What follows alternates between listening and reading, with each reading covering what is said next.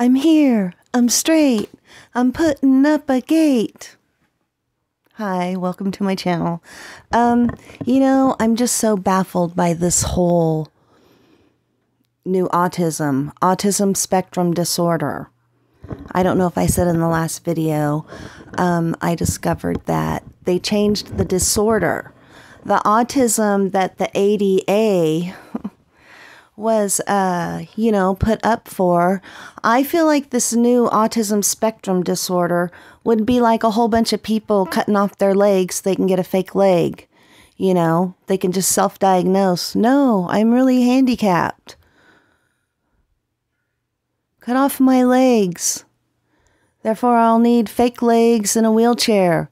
And then I can start bitching at the ableists.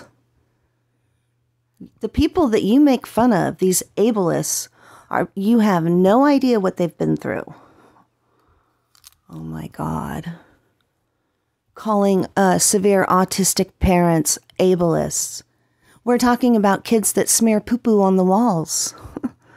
you know, they can't make an appointment, go on a date, take a trip to another country like I've seen on some of these new ASD videos. Neurodiversity, we're all neurodiverse. We all have a brain. It all works and it all works differently.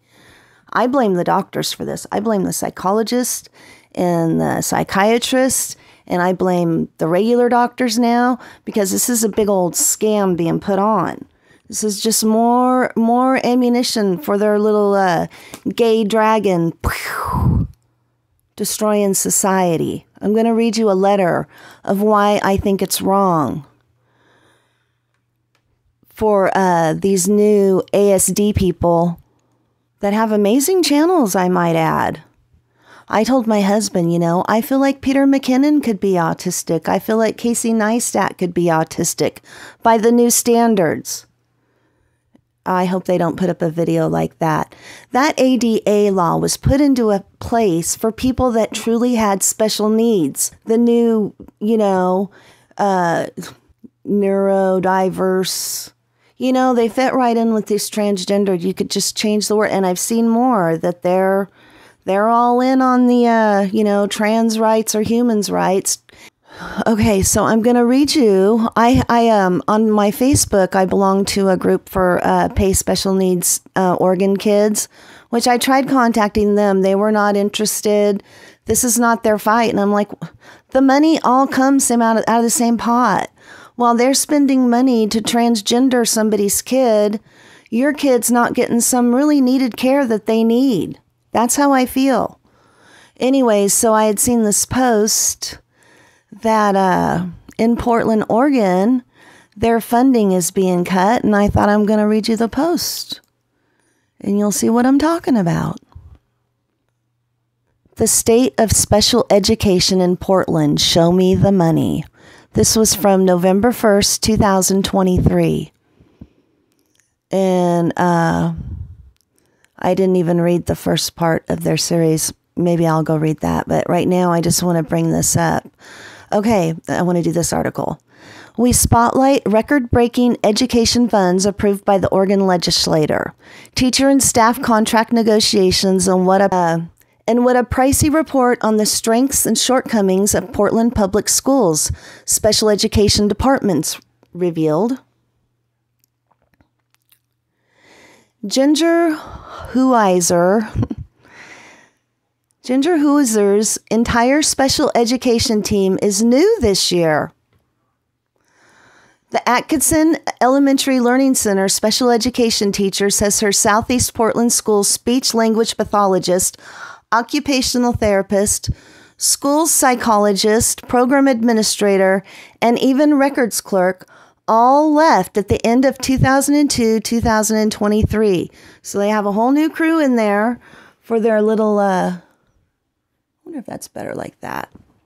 For their for their ideas, their socialist agenda. I, this is all part of it.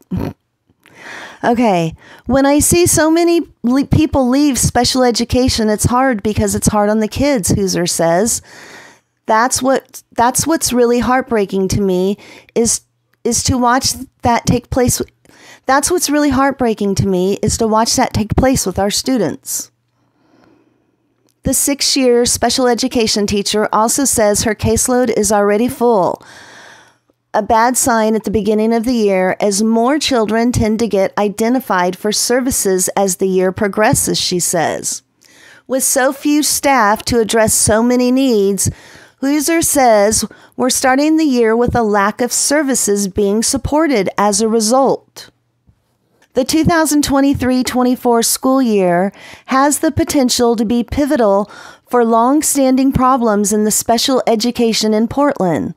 With a record breaking 10.2 billion state budget for K through 12 education, long overdue contracts for teachers, paraeducators, and specialists, increasing awareness of neurodiversity I didn't even see that earlier. I didn't read this whole article earlier. I'm reading it all now. I skimmed it earlier.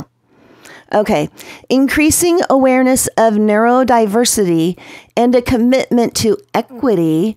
Some hope that Portland Public Schools will finally turn the page on decades of special education dysfunction. I don't know. When my kids were in special education, it's been about 20 years. It was wonderful. After we passed the ADA, they had he, you know, they had the services. It was great. What in the heck has happened? We didn't we don't live in Portland, but you know, special education dysfunction, I'm guessing they're wanting you to think it's everywhere. Okay, or it could be another year in a long string of failures by a district that has been repeatedly criticized as too siloed, too segregated, too antiquated, and too resistant to change. Maybe it's all the change they're doing that's making things wrong. In August, PDX Parent shared stories from parents and district administrators on the challenges and solutions in PPS special education. In this edition, we look at how this year's new laws will impact a district that one that one in August, Oh, I guess maybe this is from the magazine, that PDX. Or they're talking about story. Anyways, here we go. In August, PDX Parent shared stories from parents and district administrators on the challenges and solutions in PPS special education. In this edition, we look at how this year's new laws will impact a district that once report impact a district that one report called significantly departmentalized, leading to a lack of coherence across the system.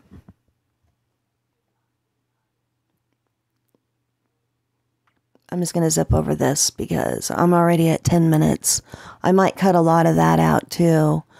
Uh, okay, this is about the legislative changes and I'm just going to I'm just going to stop right there because if every Tom, Dick, and Harry can uh, diagnose himself with autism, then the money. What happened?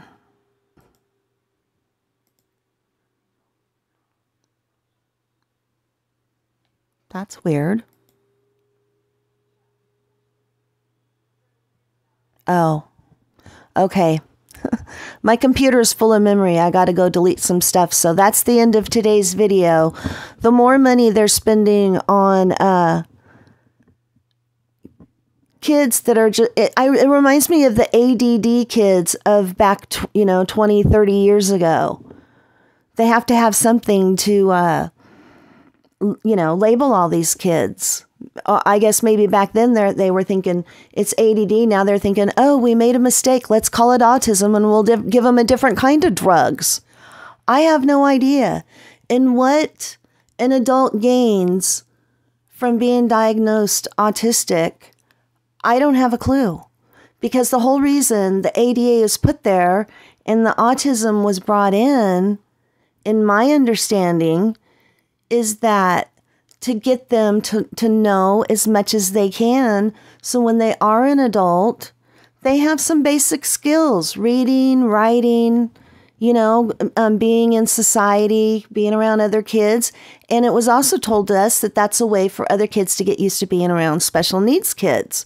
It was really impressed on me because I remember that very clearly.